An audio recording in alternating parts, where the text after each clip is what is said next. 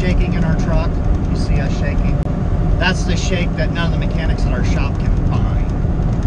Do it when I drive it?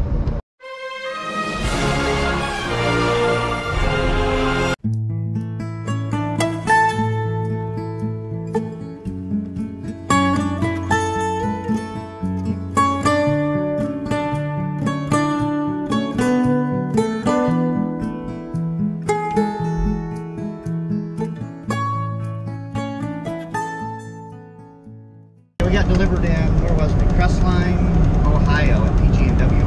Um, we was gonna record there, but they had a strict no camera, no videography or something it said on the sign.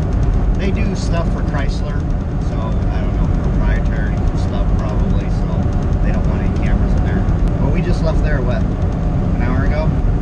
About that. Yeah. And we are heading over to Ottawa, Ohio, to pick up some plastic. I don't know what. Tell them Back we're to gonna go Iowa. next week. Tell them we're gonna Oh, you guys are not gonna believe this. We are so lucky.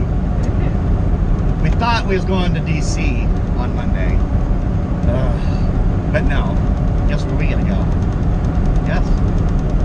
You gonna tell them? Tell them. New Jersey! oh, lucky us to Elizabeth, right across from New York City.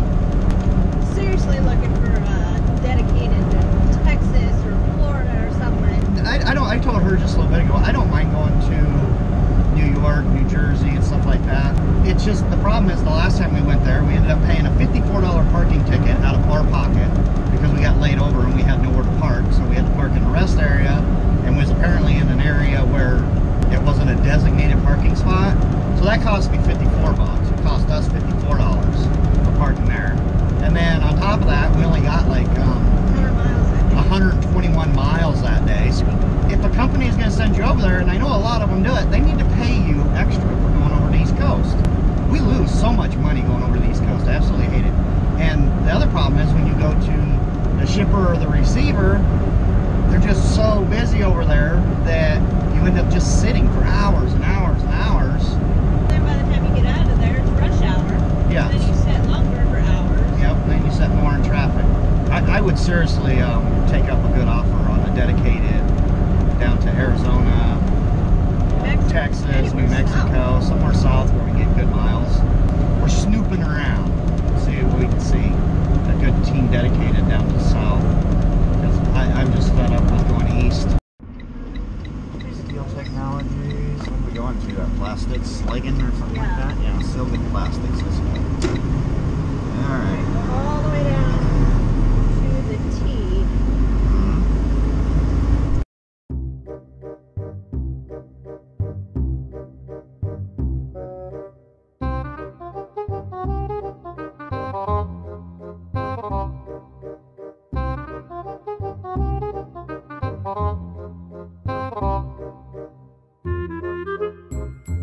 those angle docks. That's the first one we've ever done. And I gotta say, I pretty much, I'm gonna leave the whole video in there because I pretty much screwed it up. It just felt really, re, just really weird and wrong. I mean, I can alley dock, you know, piece of cake. But backing in in that angle, I don't know. I bombed it. And it seems like it'd be pretty simple to just, you know, go straight down and then just, I don't know, for some reason it's just really weird. I guess it's just just used to backing in straight, I guess. I don't know. Once you figure out the angle, I guess once you got used to them, it probably would be nicer.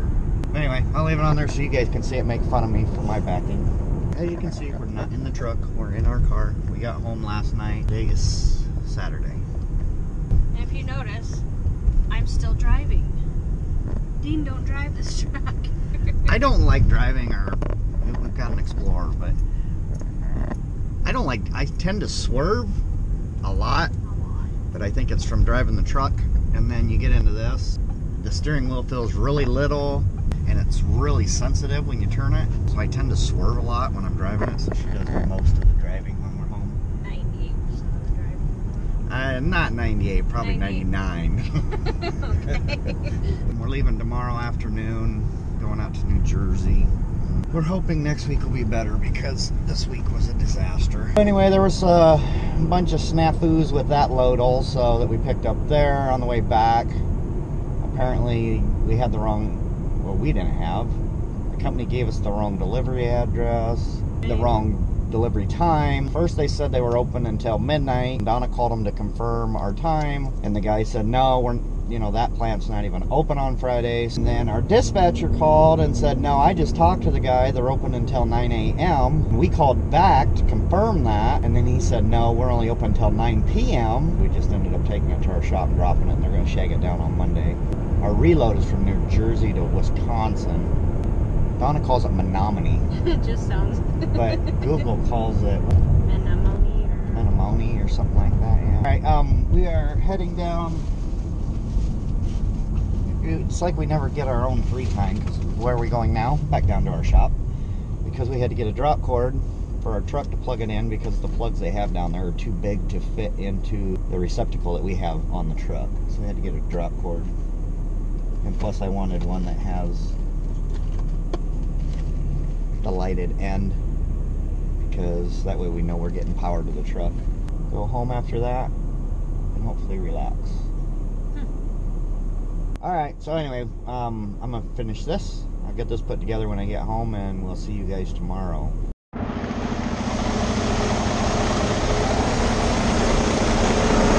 Okay, we are plugged in.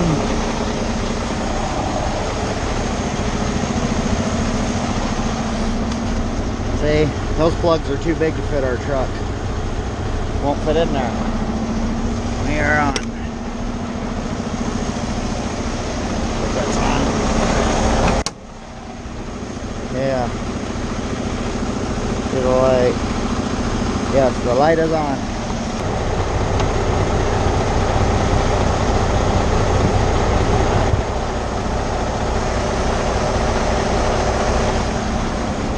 Okay, that's it. We got it started. I started it up. Didn't, wasn't plugged in last night. So we wanted to start it up. Just make sure it starts. So we're good. What are you doing? Oh, putting the groceries in. Oh, that water. I forgot about that one. Gonna take it in our truck. So it'll thaw out. Huh? Let me have it. I'll put it in our truck. We don't. I don't want to forget it though. I'd say it got cold in our truck last night.